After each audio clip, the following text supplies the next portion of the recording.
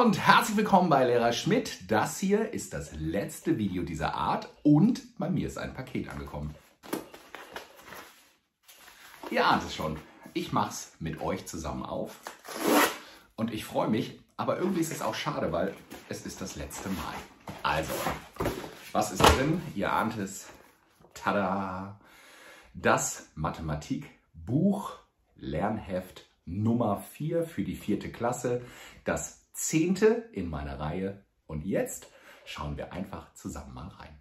So, auf geht's. Jetzt liegt's auf meinem Schreibtisch. Also, vierte Klasse Lernheft Mathematik.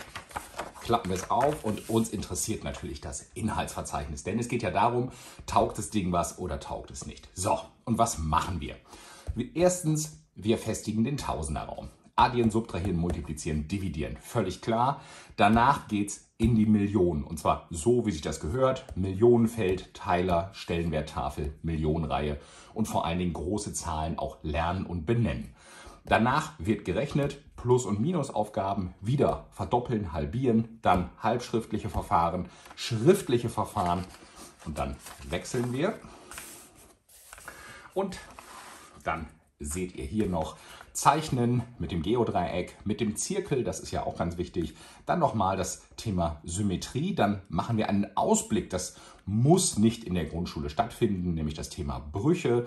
Dann schauen wir uns noch die Flächeninhalte an und wir rechnen noch mit Gewichten und Rauminhalten. Ganz zum Schluss, das ist auch eher ein Ausblick, schauen wir uns noch Daten und Häufigkeit an. So, wie ist das Ganze aufgebaut? Das kennt ihr schon, jedenfalls wenn ihr meine Hefte kennt. Hier gibt es nämlich immer, ich schiebe es ein bisschen rüber, Aufgaben mit Erklärung. Danach wird geübt und wer nicht weiter weiß, der kann sich das Ganze immer nochmal angucken. Und dann wird weitergerechnet. Und natürlich gibt es dann auch die Lösung dazu, denn die Grundidee dieses Heftes ist, dass du dich damit selber beschäftigen kannst.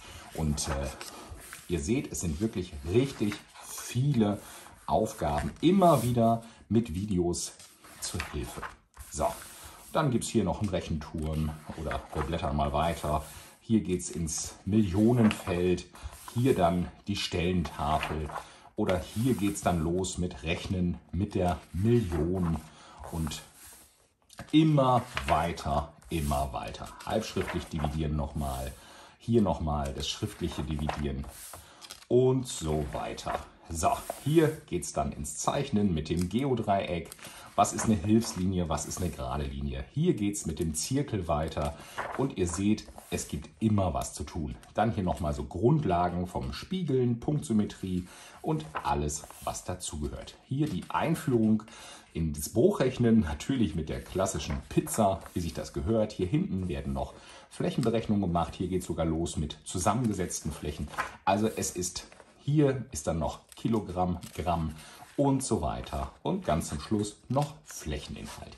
Ihr seht, es sind wieder knapp 100 Seiten, also ein bisschen mehr als 100 und so sieht das Ganze aus. So, ihr habt jetzt einmal mit mir zusammen ins Heft reingeschaut.